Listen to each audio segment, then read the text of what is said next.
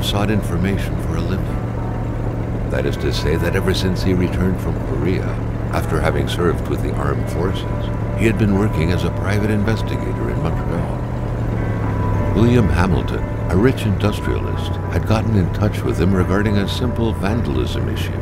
Nothing to write home about. Not worth hiring a private eye either, just so he can drive for hours on rough roads. But that's how it had always been. The client pays, Carl gets it done.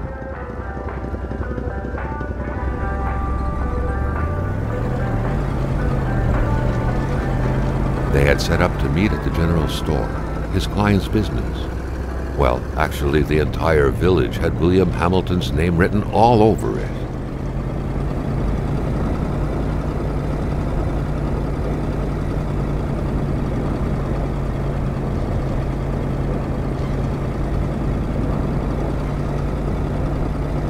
When the roads were bad, or snowed in, it was customary around these parts to close them off. But it was also customary to ignore those signs entirely and drive there anyway.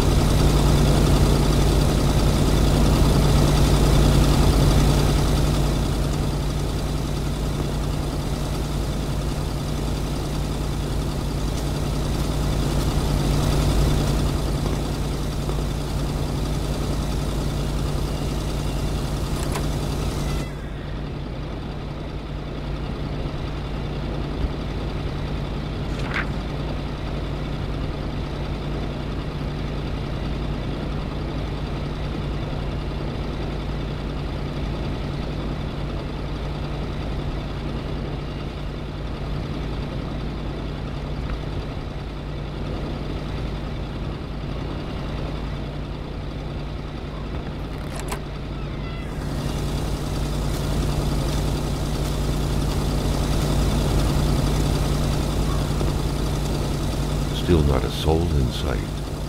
There was no point in waiting any longer. Carl had to figure this one out by himself. Hamilton never mentioned a road blocking barrier. Why was it needed here in the back of Beyond? That would, however, be a mystery for another day. Carl had waited long enough for someone to come and raise it.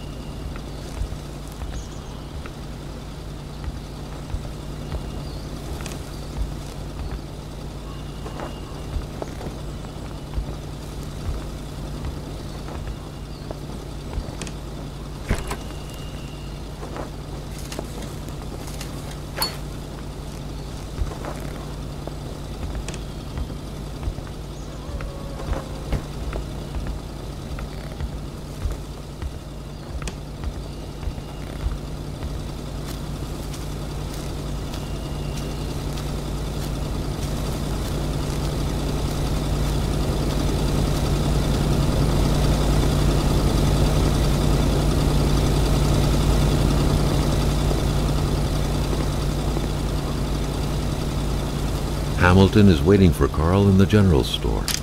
It was time for him to get down to business.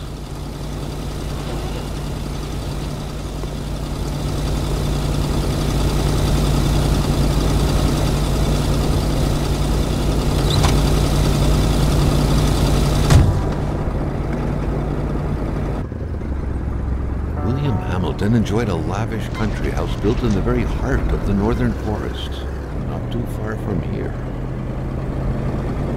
The local populace was divided when it came to the affluent man. Some saw a wealthy philanthropist dedicated to improving the region's economy. Others an aging Englishman who would do anything to further his fortunes. And those ones hated him enough to go on about scheming against him. Hamilton had recently acquired a few local businesses, but the last straw was the reopening of a mine, which gave rise to a wave of protests and threats from the Cree people. Given these circumstances, Carl reckoned that a good number of people must be feeling compelled to oppose Hamilton in one way or another. So far, only the industrialist's house had been a target, but soon enough, Carl thought, the target would become the man himself.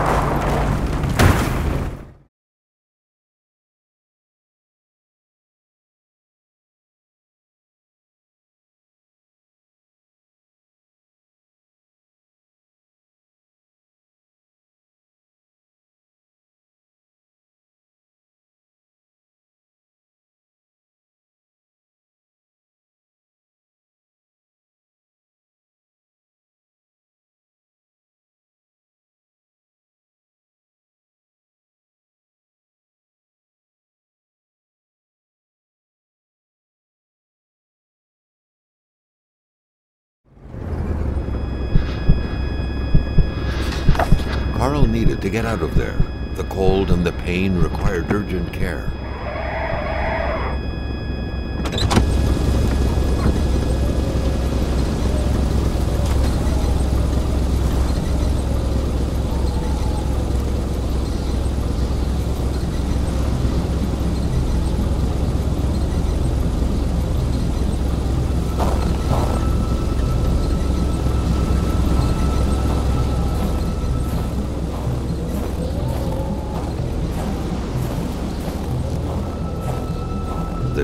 Had taken off.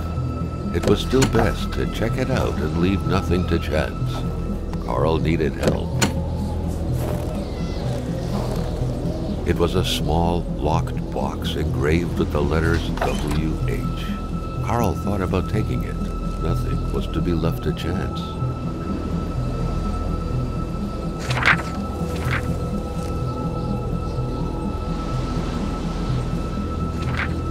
Such heart-wrenching Nordic poetry that was. But Carl didn't care much about flowery language.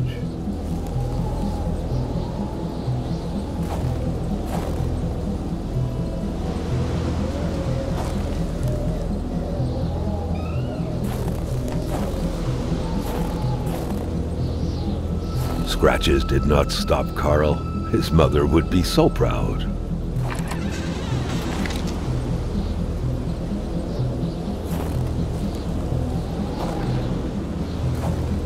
This deep in the country, his last hope was to find an abandoned garage or a farm by the roadside. His life depended on it.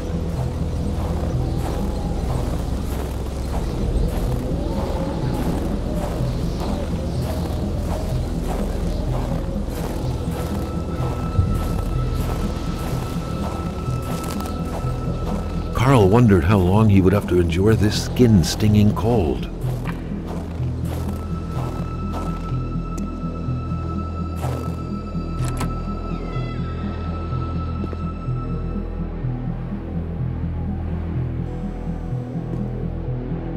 Even better than he had hoped.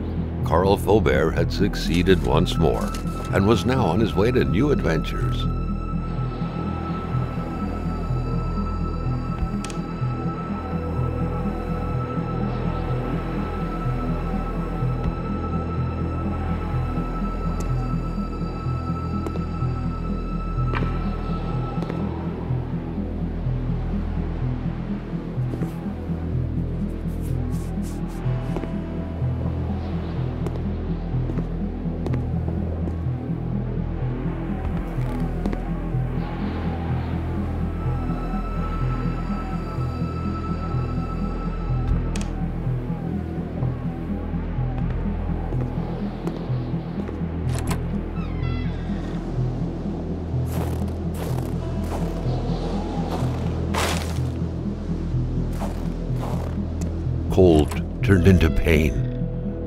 To find someplace warm.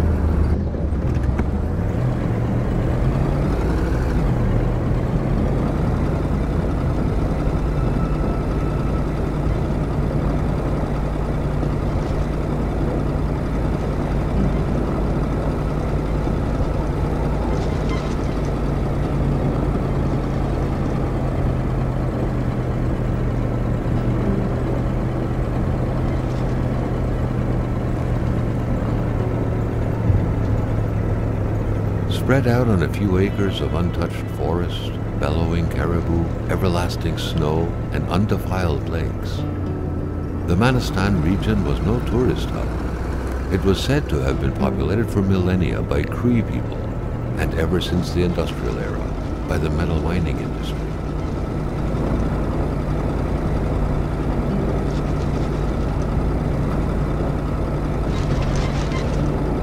The truck was running on fumes. Good thing that the general store was close by.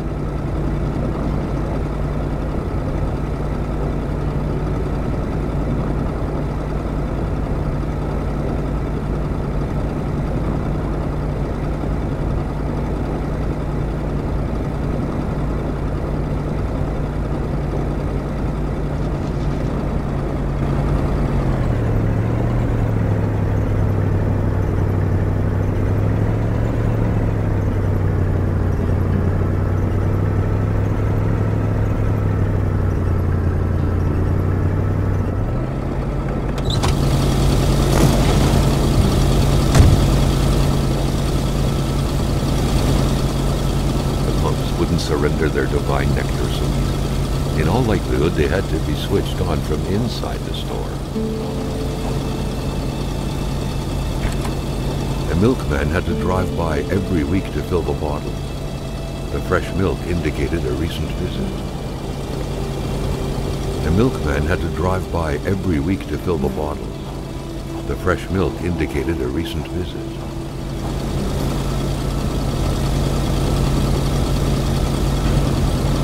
Something fell to the bottom of the box.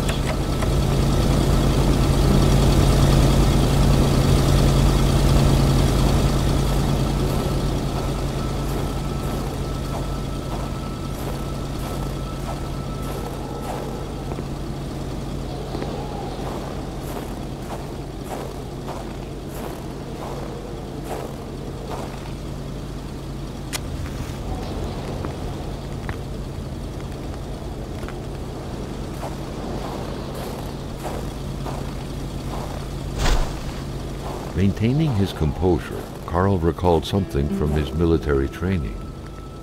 Wolves always stay away from populated areas. Wait, was it about bears?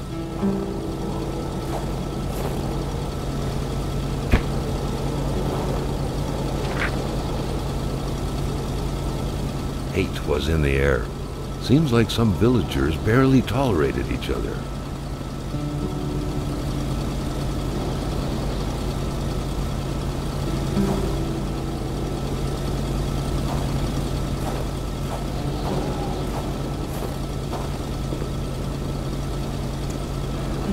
Carl was no electrician, but he could identify a wiring problem when he saw one. Carl was used to strange phenomena, but a chunk of ice like this, as if an iceberg came out of the ground, that was a first.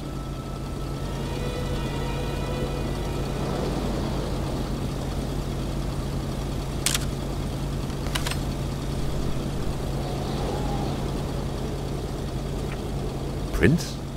Carl found a surprise at every turn. Was the camera faulty, or was it a possible lead?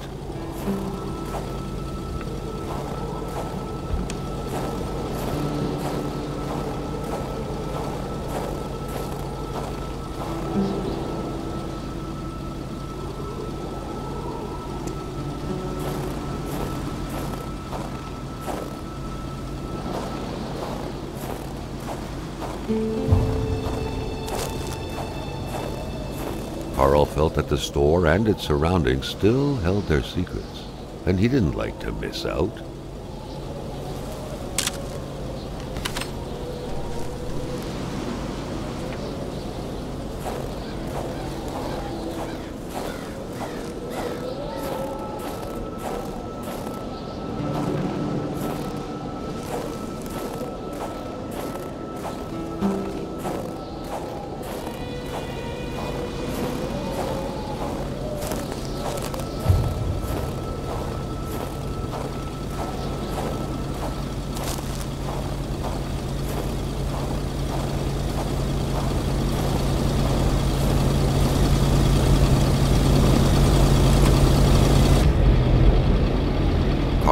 No trouble recognizing his employer.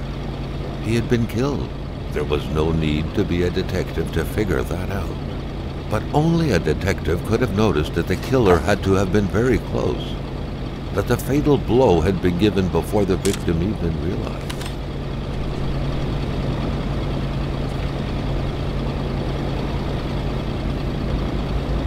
Carl felt a chill down his spine and had a terrifying realization. If Hamilton was dead, then who was going to pay him?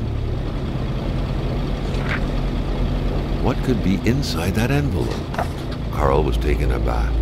He knew this address. It was said to be the address of the P.O. box for the Canadian Secret Service.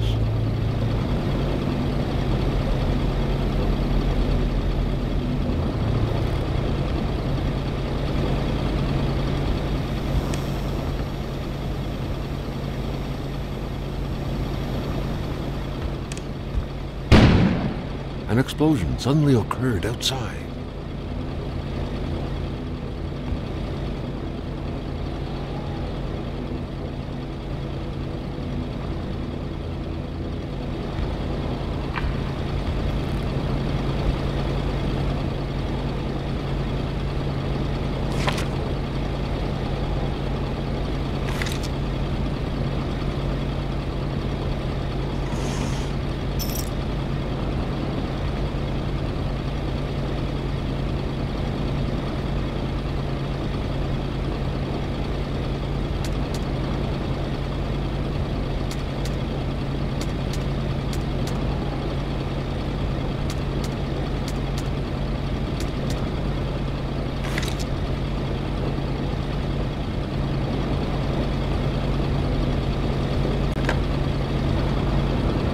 The snowstorm pummeled everything in its path. Carl was not surprised when he heard no tone. Carl knew that Gilles Lachance was in charge of the general store. That made him one of Hamilton's employees. A very angry employee, as Carl could plainly see.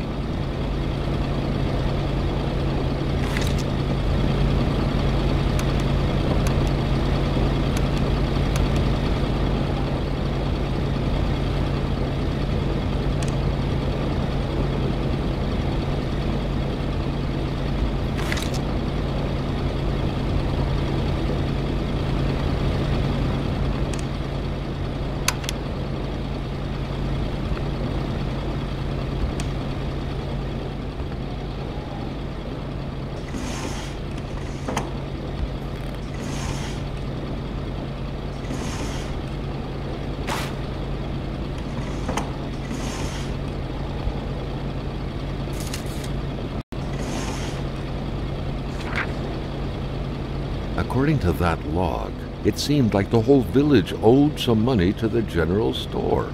Carl was far more interested in the bunch of nearby addresses he had just gotten his hands on, though.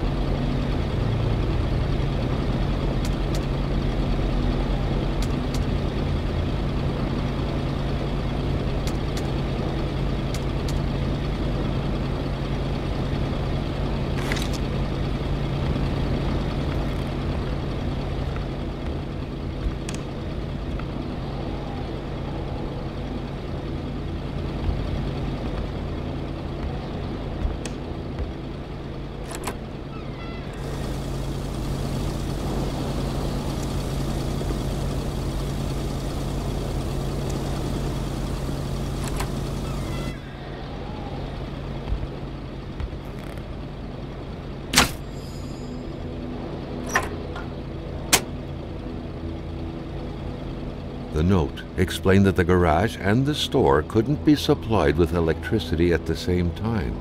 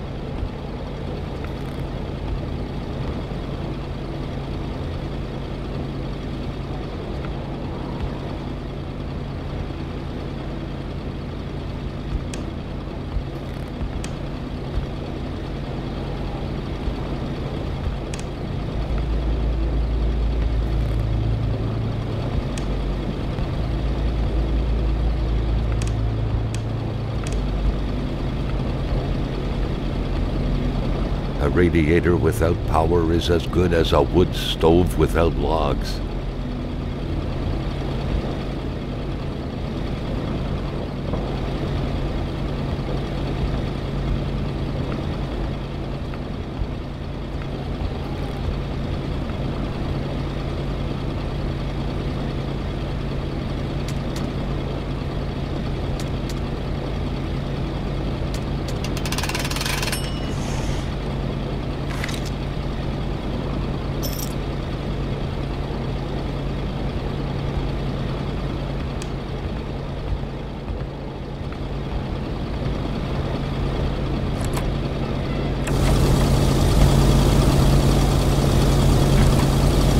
the murder weapon.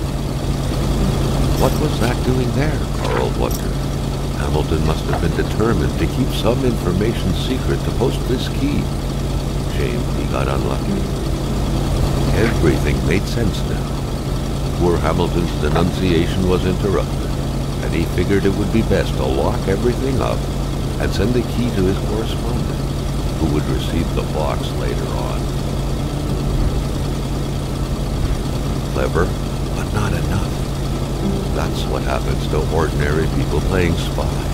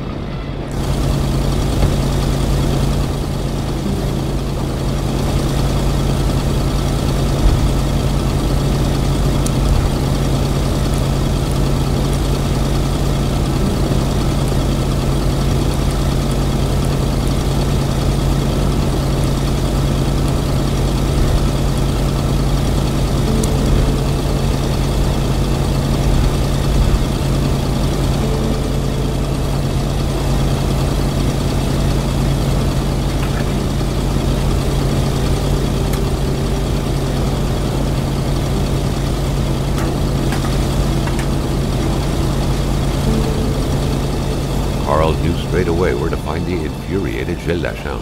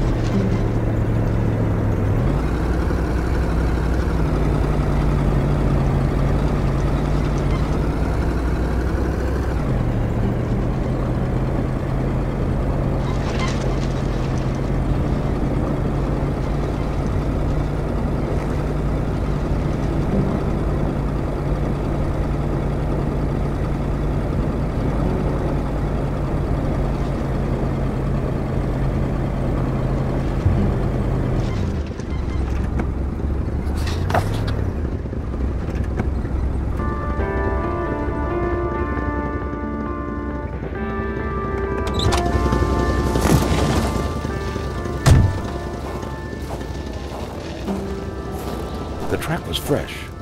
That meant the car sunk down just a little while ago. Now where the hell could the passengers possibly have gone? Someone had been playing with a crossbow here. A very dangerous game. A bolt could hit someone's tire or their eye. It could even kill someone if the aim was right.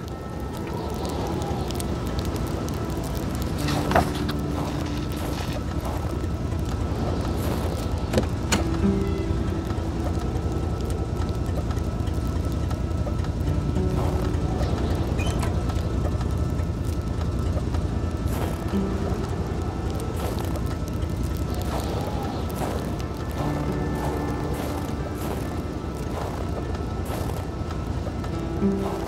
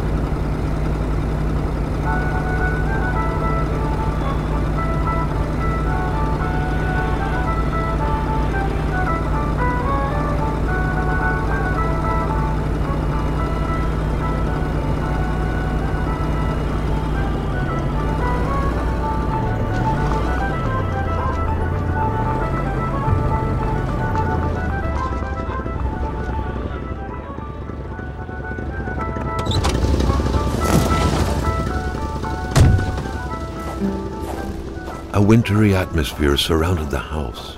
The soundlessness of the area suggested it was empty.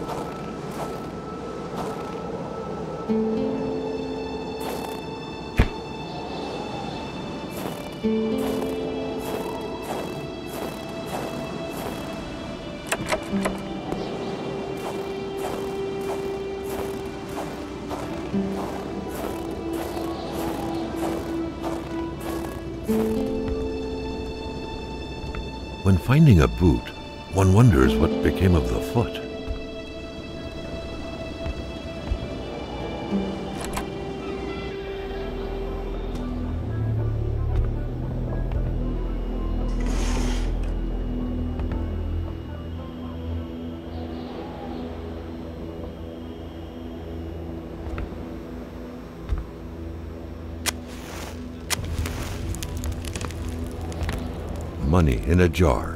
What a shame. Carl would have loved cookies.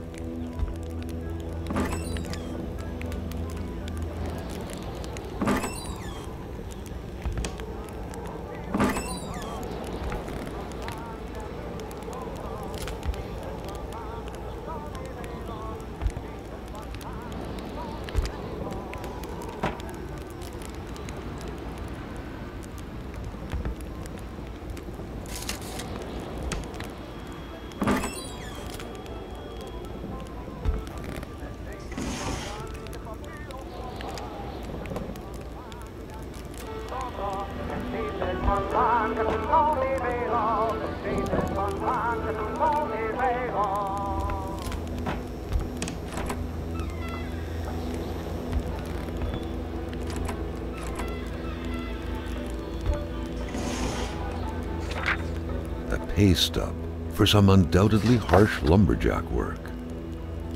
Alexandre Blais felled trees and chopped woods for Cloutier et Fils.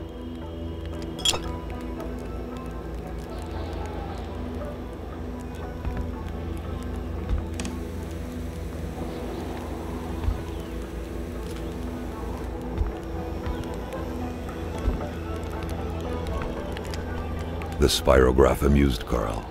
It was a nice modern toy, aside from being repetitive by nature and completely useless. Still, it found its way into many Quebecois homes.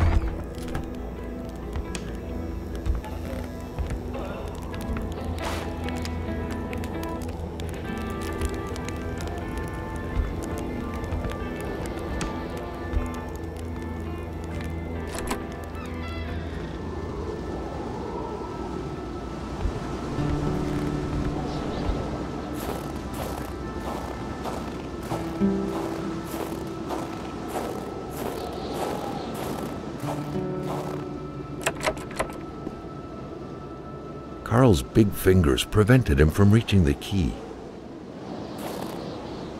Carl's big fingers prevented him from reaching the key.